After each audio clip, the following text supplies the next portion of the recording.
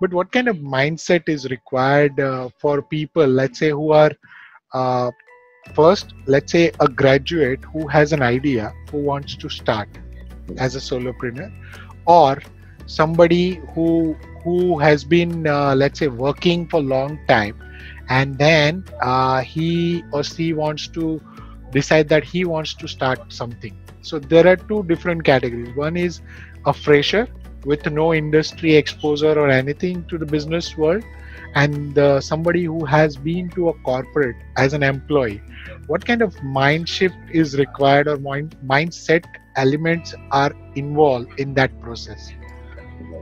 So let me talk about the employee first. Yes. We have spent a lot of time in the corporate. Yes. And uh, the first mindset first is the mindset. They have to change their mindset. They have to change their thinking from an employee to an entrepreneur. It takes a lot of time.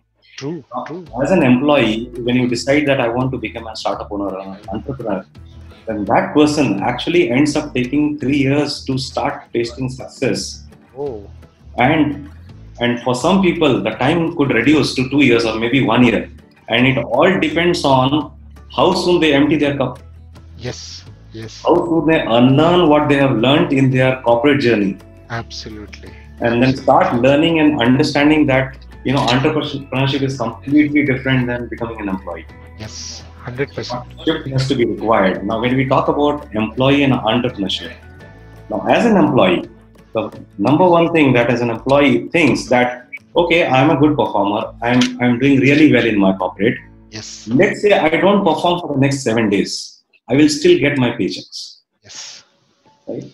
So people get into that comfort zone and with that mindset when an employee starts a business nothing happens nothing moves.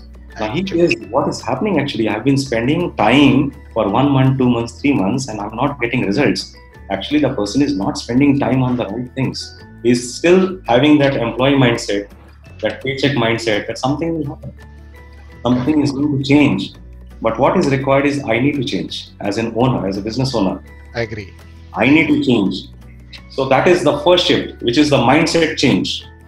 Now coming to the second point as an employee we are more thinkers. We like to think a lot. Saying that you know let me figure out let me do it let me plan it out the best way. Let me become an expert. Because there is a reason behind that. And that reason is they go through an appraisal process. Yes.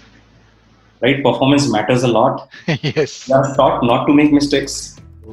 True and same thing they start applying here. They continue to think and think and think and not do anything not take the right actions which are required. Now that is the second challenge which an employee would face when he becomes an entrepreneur.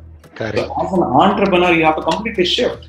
You have Yes. to taking action moving every single day is more important you know, than being perfect. So i say perfection is a disease. Yes. It's a disease.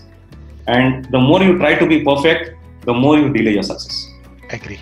So you become perfect by doing it again and again and again. And that is how we have been learning all through our life. True. True. so by doing it again and again.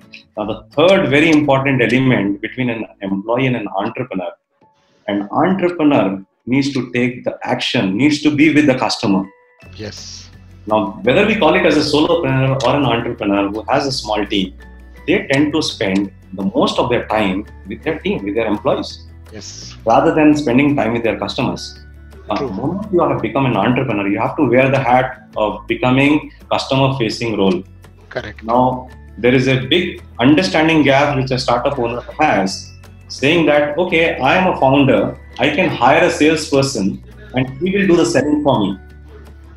I say no. Every CEO, every entrepreneur, every business owner, every founder is the first salesperson in your company. absolutely absolutely you have to go and start selling. Unless you sell, you will not understand what challenges you will go through, whether Agree. your product ready, whether it will be accepted in the market or not. yes And then, then only you'll be able to build your team, you'll be able to guide your team. So this is this is the major challenges which most of the people face. And if they face this, these, these three things, they can definitely you know accelerate their success and reduce the time of success at least by one to one and a half years. true